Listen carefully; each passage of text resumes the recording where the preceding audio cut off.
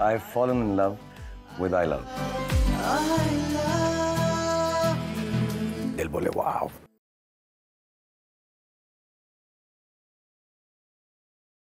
और बलपूर्वक और बलपूर्वक और बलपूर्वक और बलपूर्वक आ, आ, और बलपूर्वक आ, और बलपूर्वक आ, आ, और बलपूर्वक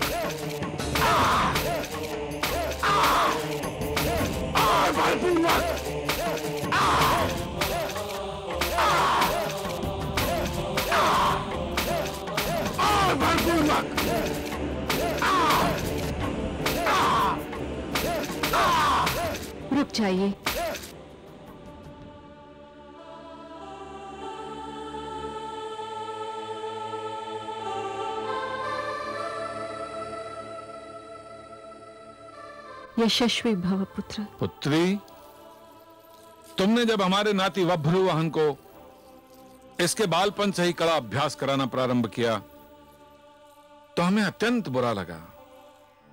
नन्हे अबोध बालक को कष्टदायक यातनाएँ झेलते देखकर हमारे हृदय पर कटार चलती थी। परंतु आज हमें स्वयं को विश्वास हो गया है कि ये सब तुम्हारे उसी अंथक परिश्रम का परिणाम है कि आज हमारा वभ्रुवाहन लौह पुरुष बन चुका है। उसका एक एक अंग इस पात में ढल चुका है। यदि माताएँ अपने पुत्र को अजय लौह पुरुष बनाना चाहती हैं तो उनको अपनी ममता पर अंकुश लगाकर, अपनी भावनाओं को दबाकर, अपने पुत्रों को अभ्यास, परिश्रम और तपस्या की आग में झोंकना ही होगा। क्योंकि अग्नि में तपे बिना न सोना कुंदन बन सकता है और न लोहा इस्पात यदि मैं ममता की मारी माताओं की भांति अपने पुत्र को अपनी गोद में समेटकर आंचल में छुपा लेती तो वब्रुवाहन आज वो ना बन पाता जो मैं उसे बनाना चाहती थी। एक बात पूछूँ पुत्री? हाँ हाँ अवश्य पूछिए। तुम्हें अपने पुत्र को लौह पुरुष बनाने की प्रेरणा कहाँ से मिली? इस देश की महान माता, शकुंतला से, जिन्होंने अपने पुत्र भरत को वीरता का आदर्श बनाने के लिए उसे बालपन से ही वन के हिंसक पशुओं में रहने, उनसे लड़ने और उन पर विजय पाने में अभ्यस्त कर दिया था। वास्तव में शकुंतला के उपरांत तुम ही दूसरी माता हो, जिसने अपने पुत्र को मृत्यु की आँखों में आँखें डालकर मुस्कुराते रहने की शिक्षा दी है। वो इसलिए पिताश्री कि कदाचित मेरी और माता शकुंतला की कहानी में बड़ी समानता है। उनका भी एक ही लक्ष्य था और मेरा भी एक ही लक्ष्य है। तुम धन्य हो पुत्री। तुम बधाई की पात्र हो। महारानी, माता और पुत्र को कुछ समय के लिए अकेला छोड़ दिया जाए तो अच्छा होगा।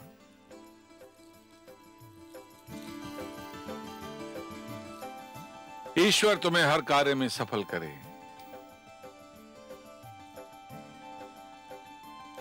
यशस्वी भव। यशस्वी भव। चलो महारानी।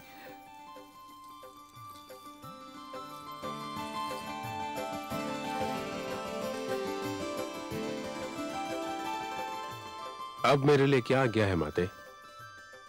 अब कोई आज्ञा नहीं। ईश्वर की कृपा से आज तुम उस स्थान पर पहुँच गए, जहाँ तुम्हें देखने के लिए मेरी आँखें तरस रही थी। कभी कभी मैं सोचती हूँ कि मैं कैसी माँ हूँ, जो अपने पुत्र को स्नेह देने के स्थान पर उसे केवल कष्ट और यातना दे रही है। किंतु मुझे विश्वास है कि मेरे पुत्र ने इसका बुरा नहीं माना होगा। है ना पुत्र? मैं तो केवल इतना जानता हूँ, माते, कि यदि हर माता मेरी माता जैसी बन जाए तो मेरा देश ऐसे वीर युवकों की सेना में बदल जाए, जिसे सारा संसार मिलकर भी परास्त न कर सके। माता श्री, जिसे आप कष्ट और यातना कहती हैं, वो वास्तव में मेरे लिए ऐसे पुरस्कार हैं, जिन्हें पाकर एक युवक का जीवन सफल हो जाए। ईश्वर के सिवा कोई नहीं जानता कि आज मैं कितनी प्रसन्न हूँ। आज तुम्हारी शिक्षा संपूर्ण हो गई। यदि वास्तव में मेरी शिक्षा संपूर्ण हो चुकी है तो मुझे अपना धर्म भी निभाने दीजिए। क्या चाहते हो तुम पुत्र? मैं आपका पुत्र भी हूँ और शिष्य भी। आप मेरी माता भी हैं और गुरु भी।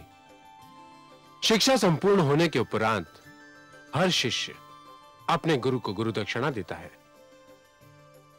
मुझे बताइए माताश्री, कि मैं आपको क्या गुरु दक्षिणा भेंट करूँ? कुछ नहीं पुत्र। मेरे लिए तो वही गुरु दक्षिणा है, जिसके लिए मैंने तुमको आग में तपाया है, धूप में झुलसाया है। तुम्हारे शरीर को भालों और कटारों की चोट से लहू लुहान करवाया है। तुम्हें गिरना, संभलना, पलटना और झपटना सिखाया है। तुमको अपना वचन याद है ना?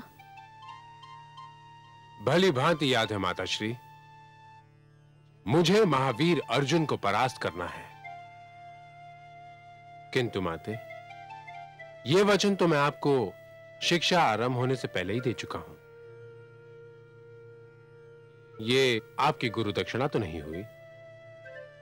बस यही मेरे लिए तुम्हारी ओर से प्रथम और अंतिम गुरु दक्षिणा होगी। मुझे और कुछ नहीं चाहिए। जब मैं अर्जुन को परास्त कर दूँगा तो आप मुझे पिताश्री से तो मिलवा देंगी ना? हाँ मिलवा दूँगी। उसी दिन बल्कि उसी घड़ी मिलवा दूँगी। ये मेरा वचन है।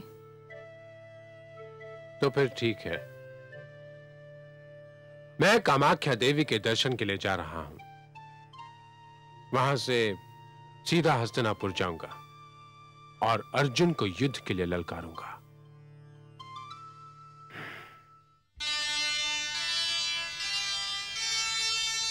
सह न सकी चित्रांगदा। नारी का अपमान। मन ही मन उसने किया। निश्चय एक महान।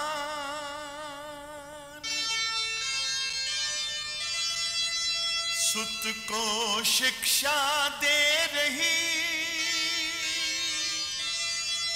दबा हृदय की पीर। दे